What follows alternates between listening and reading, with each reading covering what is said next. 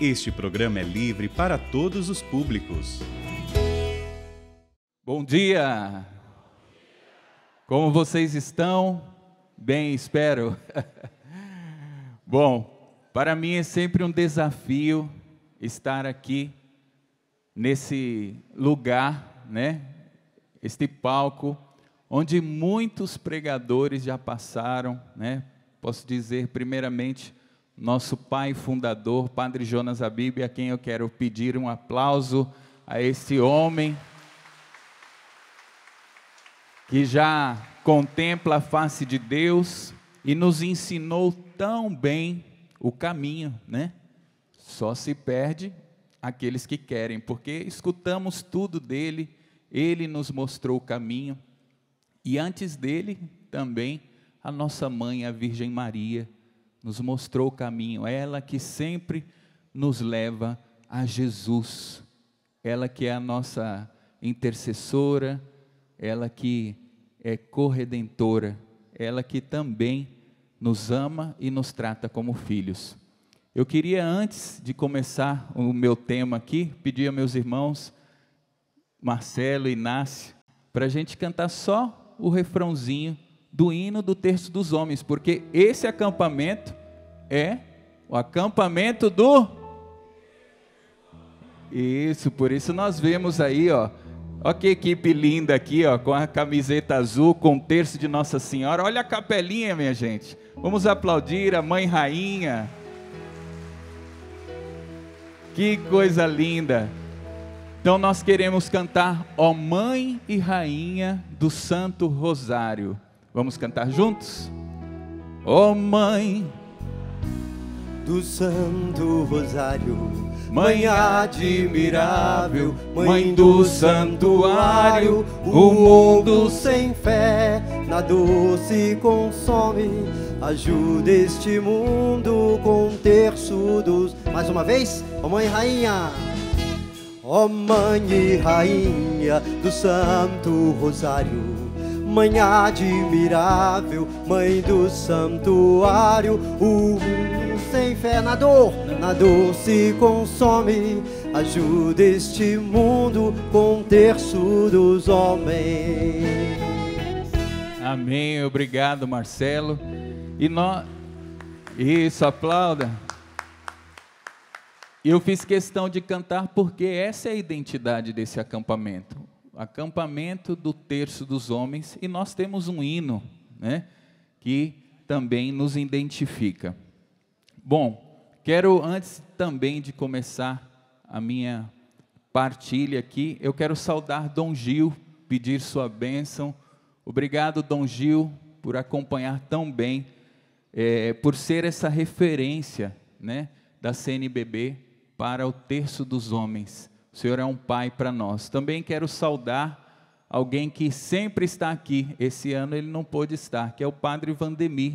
Também quero né, saudar ele, porque está lá na Alemanha, assumiu outras responsabilidades e, justo na data, ele não pôde estar aqui, mas também é alguém que nós temos muito carinho. Saúdo também o Gleison Loser, que esteve aqui ontem, não sei se está por aí ainda, acredito que já foi, né? mas ele também é o coordenador nacional do Terço dos Homens. Quero agradecer meus irmãos do departamento de eventos que se esforçaram para preparar. Tudo que você está vendo aqui foi preparado para que você chegasse, recebesse essa graça de Deus e voltasse para sua casa assim, ó, cheio da graça para continuar sua caminhada e multiplicar.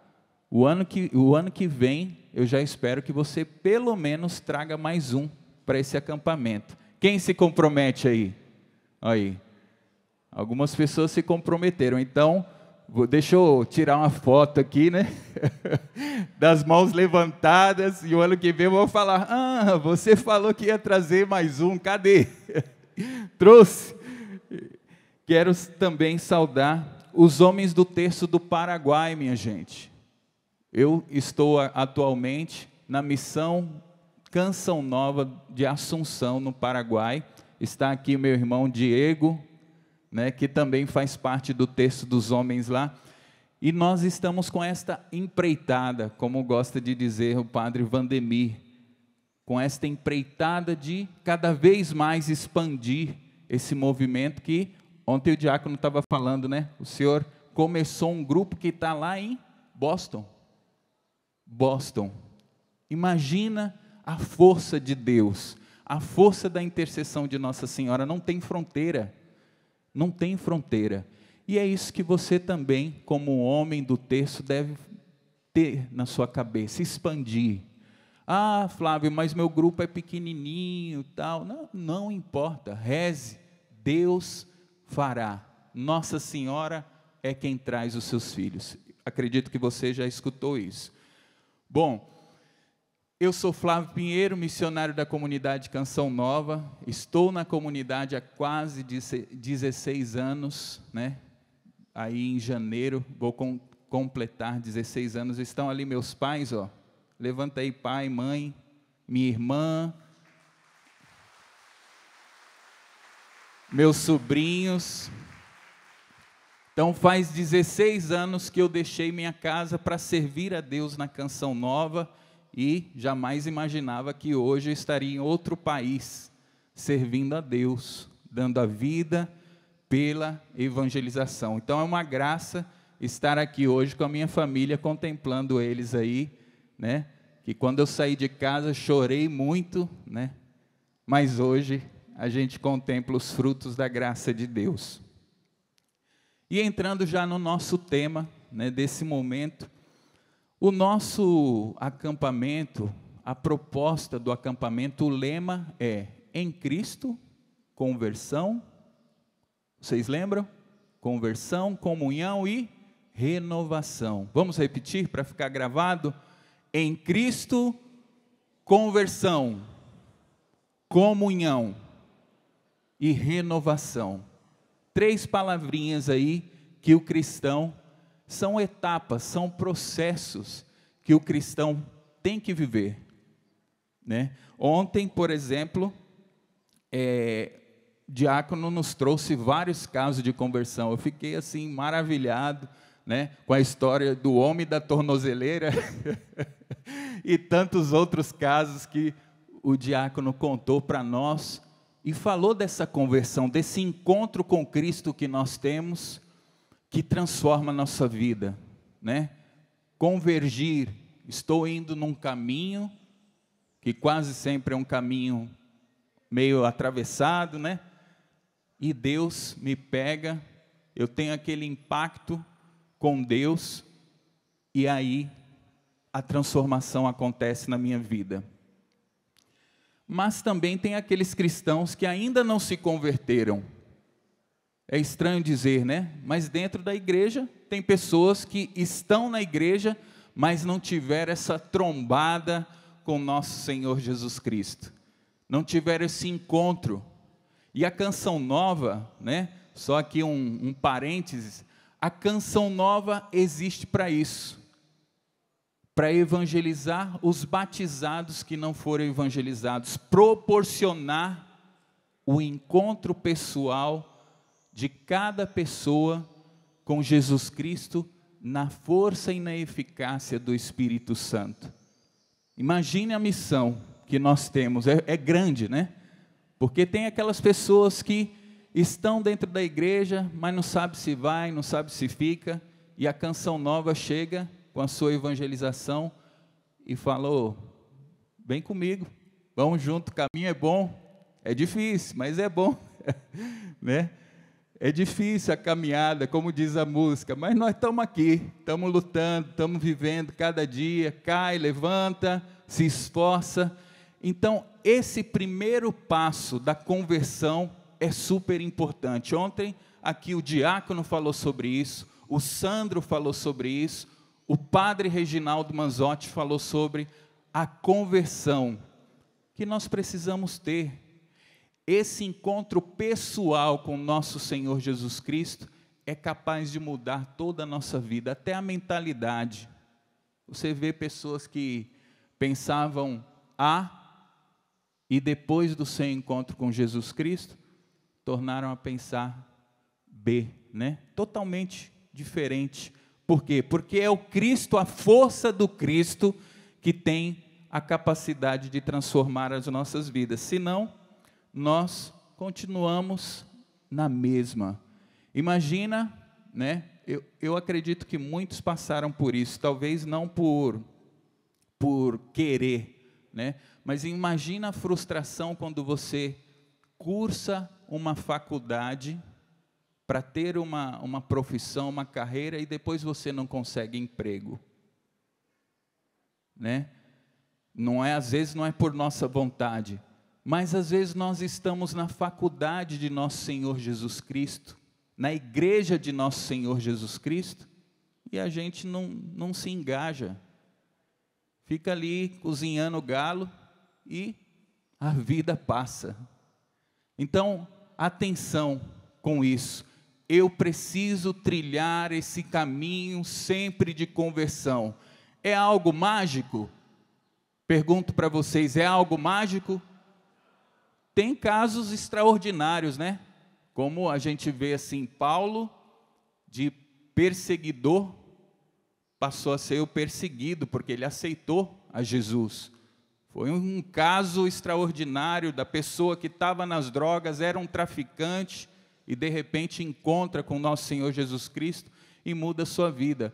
Mas mesmo estes também continuam no processo de conversão. Ele teve aquele primeiro encontro que foi impactante, transformou, mudou a mentalidade, mas se ele não tomar cuidado, ele volta a se lambuzar na lama, não é verdade?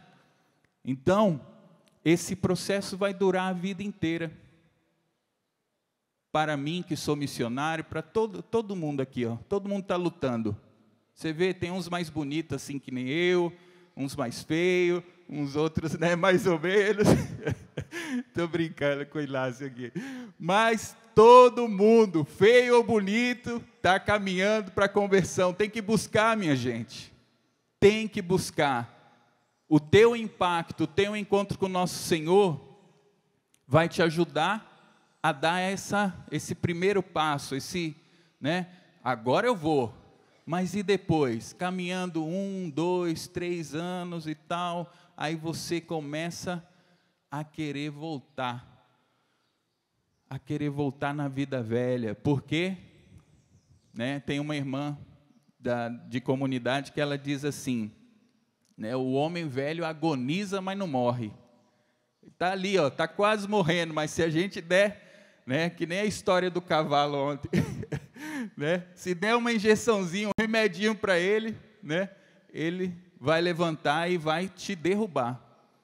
Então, muito cuidado. Esse caminho é constante. E o que que eu tenho depois desse passo de, de conversão? O que que eu tenho que buscar? A minha comunhão com Deus. É ela que me vai fazer permanecer na graça de Deus essa comunhão que nós precisamos buscar diariamente, a canção nova e todas as obras de Deus são um, um instrumento dentro da igreja para te proporcionar essa comunhão com Deus. Me converti, e agora quem vai me ajudar? Quem vai me fazer permanecer? Primeiramente Deus, Nossa Senhora e o Espírito Santo, né? E a canção nova. Eu digo canção nova porque estou aqui, né? Mas a canção nova é esse meio, essa ferramenta que, se, que é utilizada por Deus. Eu lembro muito bem que em algumas pregações Padre Jonas falava que nós somos apenas o cano aonde a água passa. O cano onde a graça de Deus está passando ali, ó. Então, muitas vezes né, vai ser utilizado um cano que não está muito limpinho ali não, mas a graça está passando e ao mesmo tempo que essa graça, que essa água do Espírito Santo passa nesse cano que não está muito limpo, vai limpando ele também, vai desaguando em outras pessoas. Essa comunhão é gerada e nós precisamos constantemente. A comunhão é uma constante em Deus. O que é a comunhão? Com, comunhão, né? Fui buscar lá uma definição, é fazer algo em comum, é intimidade, é caminhar juntos, é ser próximo. É uma palavra que está em alta agora, sinodalidade. Alguém sabe o que é sinodalidade aí? Quem sabe dizer? Sinodalidade é justamente caminhar juntos. É sinônimo, de caminhar juntos. O Papa promoveu esse tempo sinodal dentro da igreja, que maravilha, porque ele fez algo diferente. Não sei se chegou para você, mas para mim chegou um questionário da igreja, da Santa Sé, né, querendo me escutar. Eu falei, meu Deus, estou chique demais. O Papa está querendo saber minha opinião. Estou bem na fita, né? Então, ele promoveu esse sínodo, justamente, e uma das etapas do sínodo é justamente escutar, a escuta.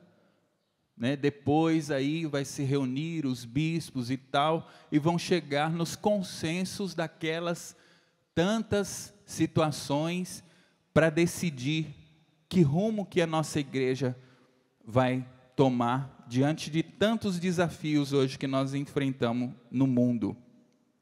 Todo este movimento da igreja também nos impulsiona a uma comunhão com Deus. Essa sinodalidade, dizer assim, caminha com Cristo, vamos junto.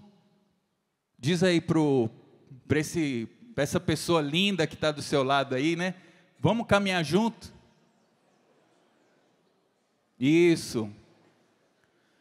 O terço dos homens já é um, um sinal ali de sinodalidade, né? Os homens se reúnem, caminham juntos, né? Alguns alguns grupos não para só na oração ali, né, que já é bastante, mas não para só na oração, mas saem também para evangelizar, saem para levar mantimentos para pessoas carentes, saem para visitar pessoas na prisão. Então veja, nós, como igreja, como homens de Deus, temos que colocar na cabeça: eu não nasci para ser sozinho, para estar sozinho. Eu nasci para caminhar junto. Eu nasci para ter comunhão. O homem necessita dessa comunhão com Deus. E a igreja nos ajuda a ter essa comunhão. A, comunhão com Deus ela é uma relação íntima, pessoal com o Criador. É um relacionamento que nos permite conhecer a Deus e ser conhecidos por Ele. Você pode dizer que você conhece a Deus? Na sua pequenez, na sua vivência de fé, naquilo que você vive no pouco, lá na tua paróquia, servindo a Deus, você pode falar: eu conheço meu Deus. E você também pode dizer que Ele te conhece? Eu acho que está mais provável né, que Ele nos conheça, né? Que muitas vezes nós não conhecemos a Deus, mas nós precisamos nos aprofundar. Quem vai nos ajudar nesse conhecimento de Deus? A comunhão. A comunhão que Deus espera de nós. Ele espera de nós como pai. Eu, por exemplo, tenho, estou lá no Paraguai, eu volto e meia tenho que ligar para o meu pai e perguntar, e aí pai, como é que estão as coisas? Aí ele fala, tá daquele jeito. né? Tá daquele jeito. Aí eu começo a entrar naquele jeito para saber qual é o jeito, né? Porque tá daquele jeito tem duas formas de ser, né? Pode estar tá bom ou pode estar tá ruim, né? Então a gente começa a trilhar ali um, um diálogo, traçar um diálogo para eu saber aquilo que ele está vivendo como meu pai, como referencial de homem para mim, né? Para eu ter essa comunhão, porque eu estou distante e se eu não ligar, se eu me deixar tomar pelas atividades do dia a dia, pela missão, eu coloco tudo isso na cabeça e esqueço minha família. E não é isso que eu aprendi na igreja. Então, essa intimidade, essa relação, esse relacionamento precisa de cultivo, precisa, precisa de esforço. Muitas vezes eu chego em casa e eles estão aqui, podem dizer, né? Mas eu chego em casa cansado numa noite de domingo, depois de uma missão, eu falo, eu tenho que ligar para minha minha mãe e meu pai.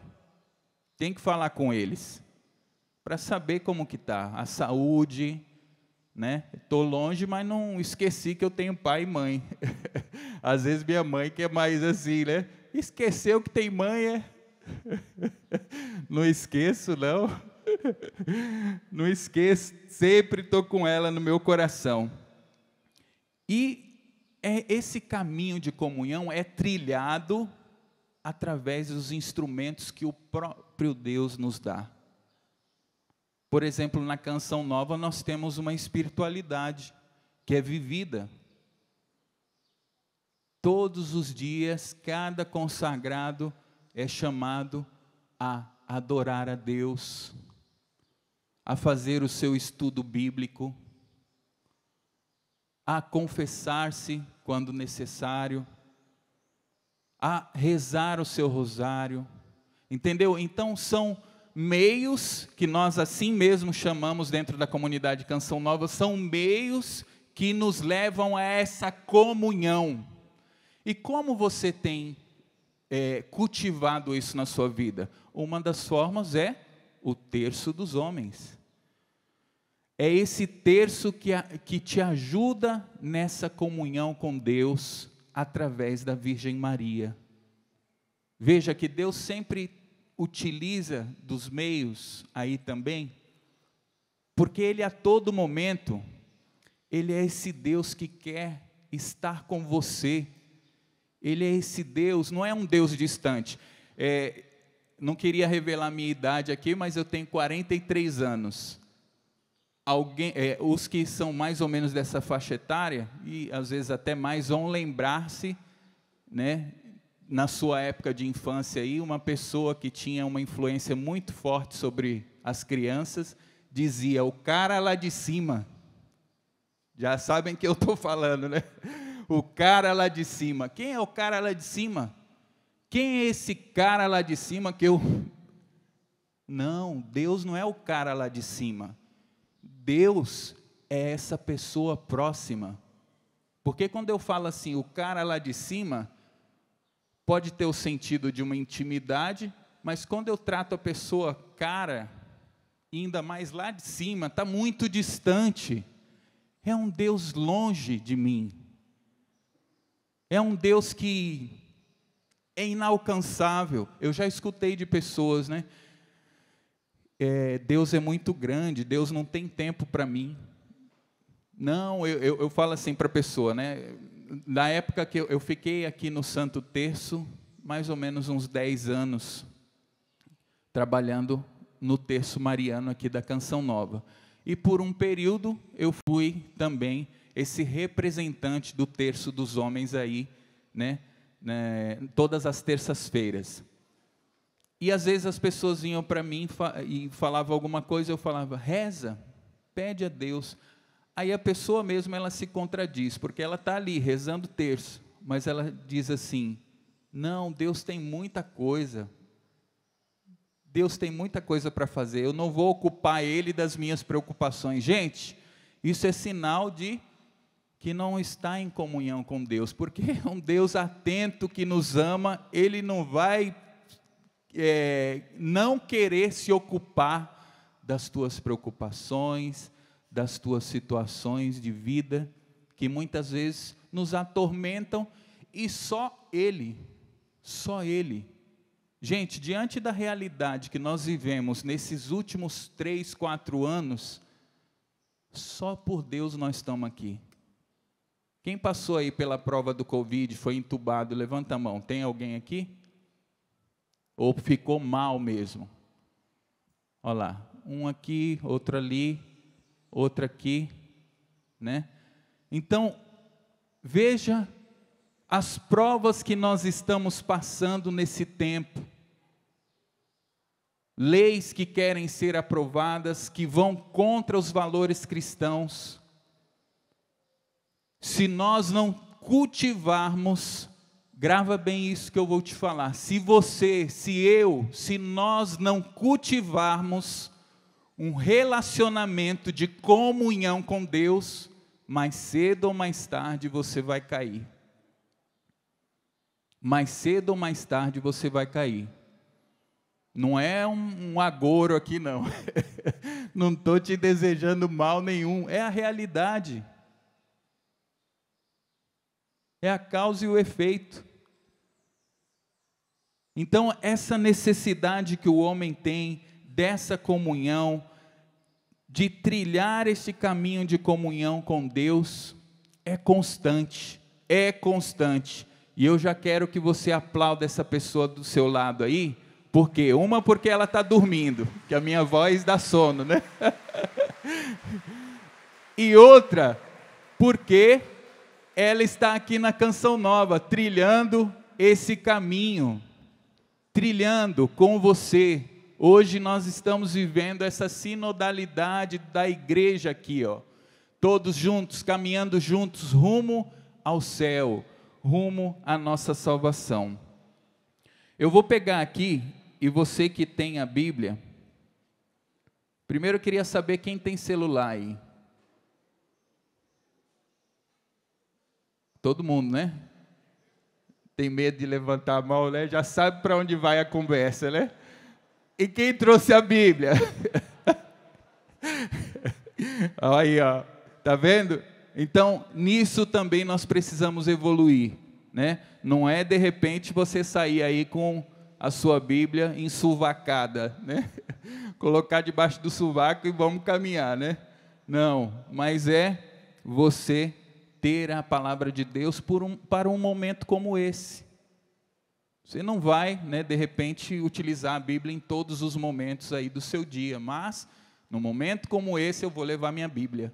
Num retiro da igreja eu vou levar minha Bíblia. Entendeu? Por quê? Porque nós utilizamos, né? Então quero convidar você que tem a Bíblia a pegar aí a passagem de João, capítulo 17, versículo 20 e 21. João 17, 20, 21. Olha só, Jesus estava ali fazendo uma oração ao Pai, estava rezando, e presta atenção em cada palavra que eu vou ler aqui agora, e você pode acompanhar. Não rogo somente por eles. Eles quem? De quem Jesus está falando? Do povo que estava seguindo ele ali, os discípulos, aqueles que estavam sendo formados por ele, né, na caminhada. Não rogo somente por eles, mas também por aqueles que por sua palavra hão de crer em mim. Jesus já pensava em você. Jesus já pensava em você, abençoado e abençoada. Diz aí para a pessoa que está do seu lado: Jesus já pensava em você. Olha só, por quê? Porque ele não rezou só para aqueles que estavam ali, não. Ele podia muito bem, né? Limitar ali a oração e falar assim: eu estou rezando aqui por esses que estão aqui, ó, esse grupo que eu formei, que está caminhando comigo. Não, ele quis incluir você na oração. Olha que coisa chique. Olha como você é importante para Deus.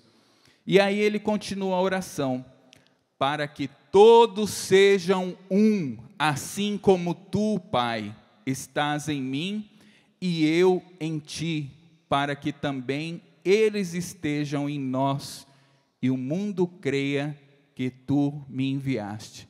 Que linda oração, minha gente.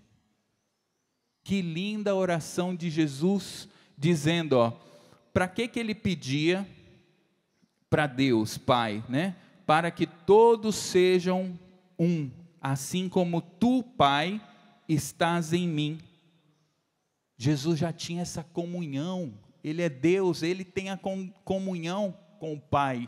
E por isso ele faz essa oração para nós, pedindo que também nós sejamos um, e que sejamos um de tal forma que ele diz assim, ó, para que todos sejam um, assim como tu, Pai, estás em mim e eu em ti, para que também eles estejam em nós e o mundo creia que tu me enviaste.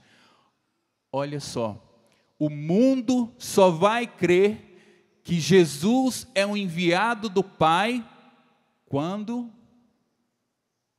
nós formos um com Ele. Entende a tua missão? Que não é qualquer coisa, não é uma tarefa fácil, mas também não é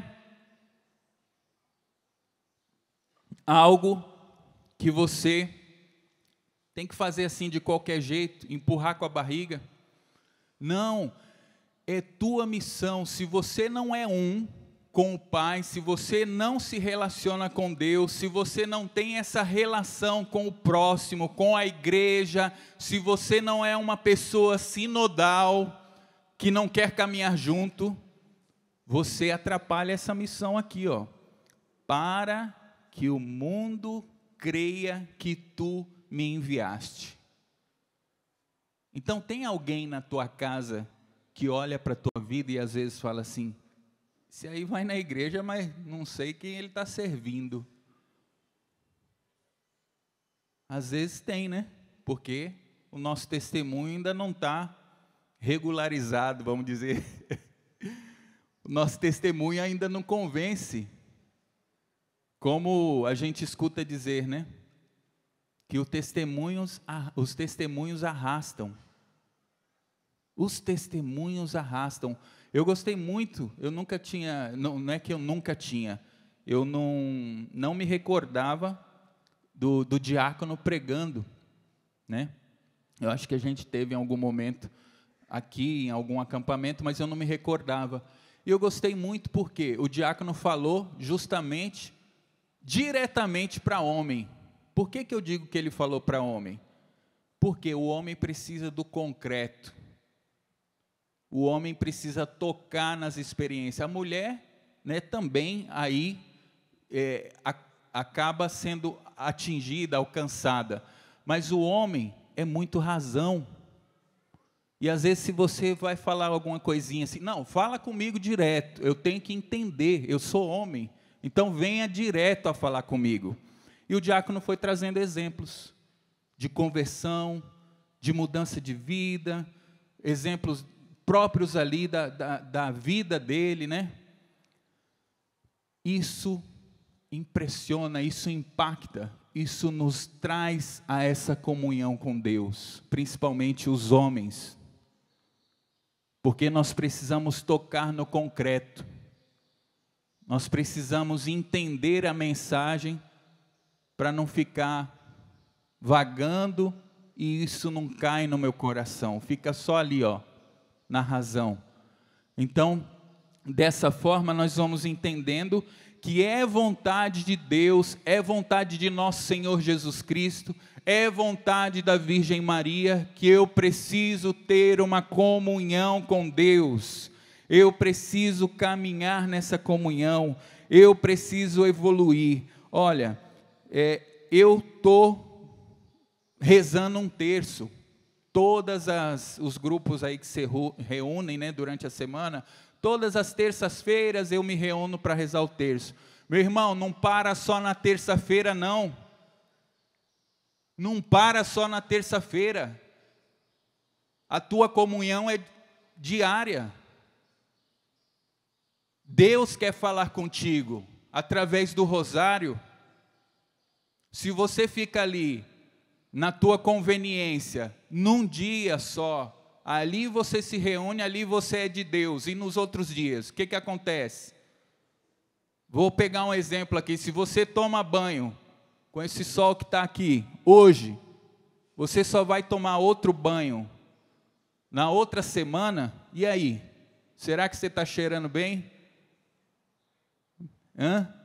Será que o perfume já não venceu? Eu preciso renovar esse perfume todos os dias. Eu, como homem de Deus, e presta atenção, homens de Deus, nós somos autoridade na casa, né? Assim a gente escuta. Não é aqui subestimando as mulheres, porque elas têm a sua parte. O Sandro falava sobre isso ontem, né? elas têm a sua parte, um completa o outro, mas você, homem de Deus, é a autoridade espiritual da tua casa. Você tem essa autoridade espiritual. A mulher reza mais, você também tem que rezar com força, com poder, pedindo, por exemplo, ah, meu filho está nas drogas. Rapaz, começa a rezar, começa a interceder. Eu sei que você já está fazendo isso, mas com mais força, todos os dias, não é uma vez ao dia. Senão, assim como quando nós tomamos banho uma vez na semana, depois o perfume vence, né? Assim também a sua alma, que vai aí, ó, se sujando com tantas coisas que esse mundo oferece. Hoje, o cristão que vive nessa terra é um verdadeiro combatente na oração, tem que ser um verdadeiro combatente. Tem que ser. Ah, mas eu não tenho tempo. Qual é a prioridade da tua vida? É rezar por aquele filho que está se perdendo? É rezar pelo teu casamento que está se acabando? Ou é sentar na mesa do teu trabalho, né? Que também é digno. Não estou dizendo aqui para você não trabalhar e só rezar, né? Mas qual é a prioridade? Muitas vezes o dinheiro não vai salvar a tua família. Muitas vezes os bens materiais não vai salvar a sua vida, não vai salvar a sua família. Pode até ajudar, e ajuda, né? Por exemplo, o projeto da M Almas aqui, você tem ideia de como é sustentar uma obra dessa, transmitir para o povo de casa? Cada câmera dessa aqui, ó, eu fiquei impressionado quando eu soube. É o valor de um carro, zero. Entendeu? Por isso a canção nova também é sustentada pelo dinheiro, pela doação das pessoas. Então, a oração é essencial, é a prioridade. Eu tenho os irmãos, né, missionários lá no Paraguai, e é lindo de ver que alguns deles já têm o hábito de levantar-se de manhã. Lá eles têm o costume de tomar o, o mate, o tererê, né, Diego?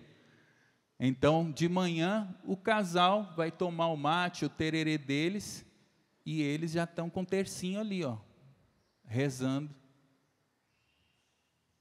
Esses hábitos cultivam a minha comunhão com Deus. Eu já saio para o trabalho armado, né? O povo, o povo que vê a gente falando armado, armado, armado, fala: Isso não é cristão, não. Daqui a pouco sai uma briga aí no meio do, do, do acampamento, do terço dos homens, está todo mundo armado, vai ficar o negócio vai ficar feio, né? Mas a arma que eu estou dizendo está aí, ó, na tua mão, levanta aí, a tua arma. A tua arma, eu não lembro do, do nome do santo, mas tem um santo que diz assim: um cristão sem o terço é um cristão sem arma, é um soldado sem arma é um soldado. Então, essa relação com Deus vai cultivar todos esses bens. Se eu não tenho comunhão com Deus, eu posso cair em um dos ismos deste mundo. Hoje a gente vê tantos ismos, né? O secularismo, o ateísmo. Você vê que tem uma agora, agora uma, uma faixa de idade que a molecada já está falando, eu sou ateu. Esses dias eu escutei uma história do, de uma pessoa dizendo para mim: a minha decepção foi quando meu filho chegou e falou para mim: eu decidi ser ateu. E é uma pessoa da igreja.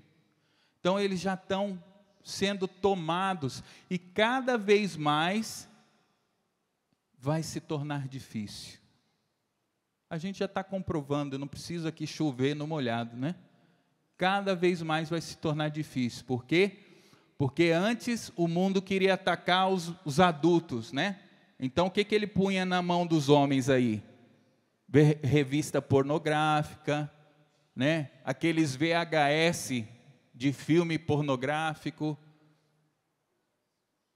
Isso nas mãos dos homens, né? Depois, aí começou a atacar os adolescentes com músicas, com tantas coisas que a gente vê, tanta nojeira nesse mundo, né? E agora onde eles estão chegando? Ó, eu tenho a Valentina que está para fazer sete anos, tem ali ó, a Ágata, que tem quatro, minha sobrinha, o Henry, que tem dez, tem três, é, vai fazer quatro agora, daqui a, a, um, alguns dias. Eles são o foco agora. Por quê? Porque o mundo entendeu. Bom, eu estou esperando muito para destruir. Estou atacando aqui, ó. O topo da pirâmide. Eu tenho que atacar é a base. Entendeu? Aí o que, que a gente vê? Tantas aberrações oferecidas para as nossas crianças, ao ponto de crianças estarem pensando em suicídio. Imagina, gente. Imagina, eu com minha esposa pregamos um retiro de casal aqui quando estávamos no Brasil ainda. E um pai, que era um dos organizadores do encontro, ele chorou comigo, eu, na verdade, eu chorei com ele, né? Porque o, o homem começou a falar, né, caminho na igreja e tudo mais. E de repente esse homem desabou a chorar. Eu não sabia o que fazia, né? Porque a mulher estava ali firme, o cara desabou. Eu falei, ixi, e agora? Aí eu chorei junto. né? Mas ele me contando a história do filho dele, coroinha na igreja, servindo na igreja, e de repente o moleque de 10 anos fala para eles que quer se matar. Gente, o que, que está acontecendo? Falta de comunhão com Deus. Por quê? Porque o mundo vai entrando. No Paraguai a gente diz que o inimigo, ele quer meter la cola. La cola é o rabo do, de Satanás nas nossas vidas. E ele vai assim, ó, como a serpente entrando, né, se moldando ao ambiente, e ele não tem pressa não, viu? Ele não tem pressa. Ele quer ver as nossas famílias destruídas. Então, cuidado para você não cair nesses ismos da vida. Secularismo, ateísmo, relativismo. Ah, faz de qualquer jeito, é assim mesmo. Não. Tudo, é, eu tenho a minha verdade tudo se tornou relativo. Eu trabalho com as verdades que são minhas, eu construí minha verdade. Né? Parece, eu trabalhei também com manutenção de computador. Então, é, tinha vezes que a pessoa falava assim: eu preciso fazer um upgrade na minha máquina. O que, que é um upgrade? É transformar ali a sua máquina numa máquina mais potente, trocar a memória, trocar o HD da máquina, o processador talvez, a placa-mãe. E ali eu vou moldando da forma que eu quero, né? Às vezes a gente vive assim. Vou moldando a fé ao meu modo. Não, gente, é burrice. Já foi mostrado como se vive a fé. Deus já instituiu homem, mulher. Deus já deu tudo pronto para nós. E falou assim: vivam, tenham vida e vida em abundância. E você está se contentando com a sua vida, muitas vezes, nós, né? Aqui eu me incluo nós nos contentamos com uma vida medíocre. Medíocre. Imagine, você nasceu para ser águia que voa, que tem uma visão a longo alcance, e você está andando neste mundo como uma galinha que enxerga ali o milhinho, a quirela no solo, pertinho, né? Você está comendo quirela, não, Deus quer muito mais para você. Deus tem muito mais para você. Como eu posso alcançar essa comunhão com Deus? Né? Eu estou levantando aqui a questão, mas eu quero também te dar os caminhos. Quero te ajudar na oração, na meditação da palavra de Deus, nos sacramentos da igreja. Como é lindo ver como quando uma pessoa, por exemplo, não casada na igreja, se acerca de um sacerdote, se aproxima e fala: Eu quero me casar, eu quero trazer a bênção para minha casa, para minha família. Talvez você tenha um impedimento, né? Mas busque, faça a sua parte, Deus faz o resto, porque Ele quer essa comunhão, Ele é o primeiro interessado. Não viu o que Jesus rezou? Eu, eu falei aqui para você, Ele é o primeiro interessado. A oração de Jesus foi feita quando você não existia, Ele é o primeiro interessado. Eu preciso viver a submissão a Deus e a oração do Santo Terço. Meus irmãos, o desafio hoje é esse. Ter essa comunhão, e eu estou te dando os meios, que talvez você já saiba, mas, como diz o ditado, água mole em pedra dura,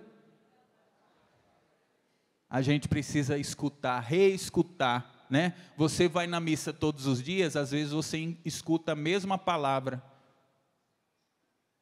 mas por repetição o Evangelho vai entrando na minha vida e vai transformando todo o meu ser. Assim também, hoje nós estamos reescutando muito daquilo que nós precisamos na nossa vida. A comunhão com Deus, ela é permanente, essa busca. Então, agora, já preparando para finalizar, eu quero ler a passagem que está em João capítulo 15, versículo do 4 ao 8. Isso é um tratado da comunhão que Deus deseja ter conosco. E Ele dá todas as dicas que você precisa. Escuta bem, escuta bem essa passagem. João 15, 4 a 8. Permanecei em mim, e eu permanecerei em vós. É uma ordem, não é para você pensar. Aqui ele é bem claro: permanecei em mim, e eu permanecerei em vós. É ordem. Quando um, um soldado escuta uma ordem né, do seu general, o que, que ele faz? Ele abaixa a cabeça e cumpre. Permanecei em mim, e eu permanecerei em vós. E aí continuamos aqui. O ramo não pode dar fruto por si mesmo, se não permanecer na videira. Assim também vós não podeis tampouco dar fruto, se não permanecerdes em mim. Eu sou a videira, vós os ramos. Quem permanecer em mim e eu nele, esse dá muito fruto, porque sem mim nada podeis fazer. Se alguém não permanecer em mim, será lançado fora. Ó perigo! Olha o perigo. Será lançado fora como ramo, ele secará e hão de juntá-lo e lançá-lo ao fogo. Você entende o que Jesus quer dizer aqui, né? Fica brincando de não ter essa comunhão com Deus, uma hora você vai para o fogo. Estou sendo um pouquinho duro aqui, mas essa palavra é para mim também uma hora nós vamos para o fogo. Porque a gente não sabe o dia e a hora. E, continuando aqui, é, será lançado ao fogo e será queimado. Se permanecerdes em mim e as minhas palavras permanecerem em vós, pedireis tudo o que quiserdes e vos será feito. Nisso é glorificado meu Pai para que deis muito fruto e vos torneis meus discípulos. Olha que lindo, minha gente, um tratado de comunhão. Ele está dizendo: ô oh, bênção, permanece em mim, não fica fora de mim, não. Você não pode fazer nada sem mim. Às vezes nós somos coordenador de alguma coisa, né, na paróquia, no terço dos homens, a gente acha que está abafando. Não permanece em Deus, não, para você ver. Vai ser queimado. É o que está dizendo aqui, não sou eu, não. Permanece. E olha que lindo a promessa, porque nós também gostamos, né? De promessa todo mundo gosta, né? Promessa ainda de quem vai cumprir, que a gente sabe que Deus cumpre a promessa.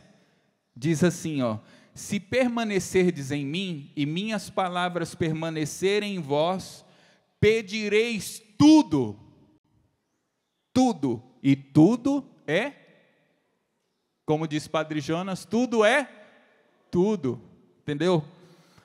O que quiserdes e vos será feito.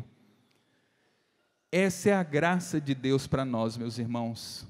A graça que o Senhor quer nos dar. Os benefícios que eu tenho, que eu trago, porque eu tenho que dizer também, né? Os benefícios. Quando você é fichado numa empresa, você quer saber se tem um bom plano de saúde, né? Se vai ganhar um bom salário, então também vou te falar os benefícios que você tem com a comunhão com Deus. Paz interior. O mundo precisa de paz? Com tanta gente desequilibrada, tanta gente que não tem paz interior, pessoas agitadas, ansiosas. Meu Deus, é tanta coisa nesse mundo. A gente precisa de paz interior, dormir, deitar a cabeça no travesseiro com tranquilidade com as contas pagas, né? com os filhos bem na escola. Às vezes pinta as tribulações, as dificuldades, mas a nossa meta é essa: paz interior. Como que eu tenho isso, esse benefício? Com a comunhão com Deus. Alegria e satisfação. Eu estou lá no Paraguai, Diego está de prova aqui. A gente somos, nós somos em quatro membros do núcleo, dedicação integral, dois padres Padre Tiago e Padre Carlos, e eu e Renata. E além disso, nossos irmãos do segundo elo que nos ajudam muito. Inclusive, um abraço para o povo, meus irmãos do Paraguai. Abraço, irmãos. Bendiciones a todos. Nós ralamos, gente, ralamos. Ralamos muito pela evangelização lá. A coisa está acontecendo, graças a Deus. Entendeu? É essa satisfação que eu sinto, a alegria e satisfação de depois de um dia de chegar arrebentado em casa, eu falar assim: eu estou arrebentado, mas estou realizado. eu acho que você sente isso também, não sente? É um benefício de Deus para aqueles que têm comunhão com Ele fortalecimento espiritual, conhecimento e discernimento da vontade de Deus, manifestação do Espírito em nossas vidas, é, também as decisões acertadas, aquela situação que você não sabe como resolver e Deus vem e te dá a solução, e aí você fala: Meu Deus, era isso. Só vai ter isso quem tem comunhão com Deus é, não se deixará levar por falsas doutrinas, ideologias malignas e vai fomentar a comunhão com o próximo e não a divisão. Isso são os benefícios que nós conseguimos com essa comunhão com Deus. Tudo isso é exemplo de Maria, tudo isso é exemplo de nossa mãe. Ela soube com sua humildade unir o céu e a terra. Ó, essa união que você precisa fazer, ó, céu e terra. Eu sou peregrino neste mundo e eu sou um propagador desse céu que eu busco e quero que outras pessoas busquem também e experimentem. Ela foi um dos maiores instrumentos da comunhão com Deus, com a da comunhão de Deus com a humanidade. Ela soube unir-se a Deus de maneira tão forte que nos trouxe a salvação. É isso.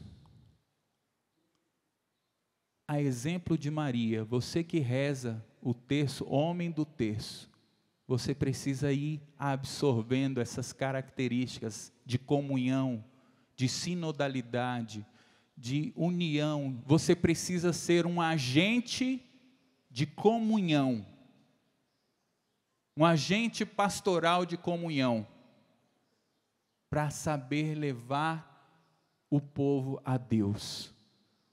Amém? Então, convido você a ficar de pé. E agora a gente, eu quero rezar finalizando um pouquinho. Porque eu sei que nós estamos aqui porque nós amamos muito a Deus. E nós queremos cada vez mais fecundar no nosso coração esta comunhão. Convido você a fechar os seus olhos e eu quero pedir aqui, na minha pequenez, assim como Jesus rezou, eu quero pedir, Senhor, que eles sejam um contigo que eles cresçam, que eles perseverem. A palavra de Deus vai nos dizer que aquele que perseverar até o fim será salvo. Olha que maravilha, minha gente. Eu quero te encontrar no céu. Mas para isso, você precisa se dedicar a essa comunhão com Deus. A esta comunhão diária, essa comunhão permanente. Não toma banho um dia só na semana, não. Todos os dias nós precisamos lavar a nossa alma. E só nele nós vamos construir tudo o que nós necessitamos. Somente em ti construirei a minha casa. Somente em ti. Somente em ti colocarei minha esperança. Somente em ti construirei a minha casa. Somente em ti colocarei minha esperança, pois só em ti, pois só em ti minha alma achou descanso. Pois só em ti eu pude respirar. Só em ti descansa em Deus. Só em ti alma achou descanso. Respira em Deus, respira em Deus. Só em ti eu pude respirar.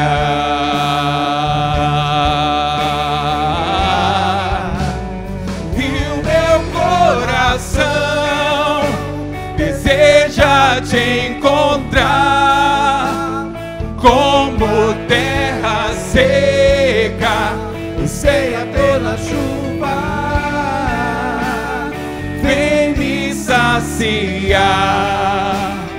pois eu descobri que aqui é o meu lugar